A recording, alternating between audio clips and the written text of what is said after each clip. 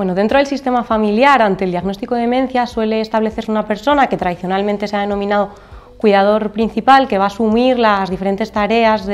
básicas de cuidado, con un alto coste para su salud, eh, tanto física, eh, mental, incluso social.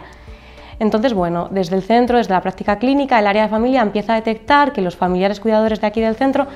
tienen unas altas tasas de, sintomatología depresiva, incluso quejas de memoria, quejas subjetivas, un poco de, fallos cognitivos. En este contexto nace un poco el proyecto Cuidador con dos objetivos. Por un lado, estamos haciendo una revisión sistemática en base a la evidencia científica más reciente,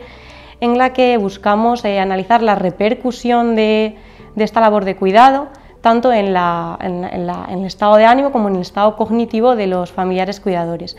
Y por otro lado, queremos describir un poco como centro de referencia la buena práctica que realizamos desde aquí, es decir, explicar cómo nosotros detectamos estas sospechas de deterioro cognitivo o de depresión y cómo actuamos desde el centro.